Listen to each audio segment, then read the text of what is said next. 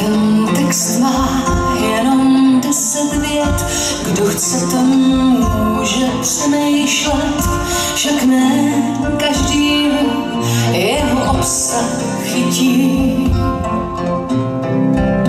Že je to návod praktický a asi platí navždycky, rozhodně má širší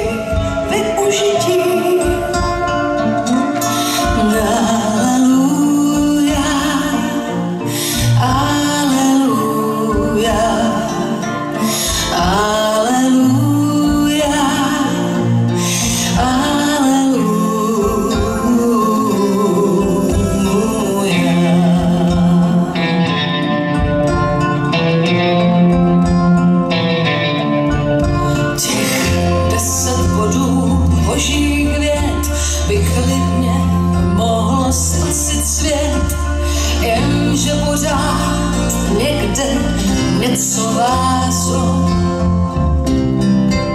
Jak umíme se vymlouvat, já kdybych mohl, tak já bych rád, jenže jsme už dávno zvyklí na son.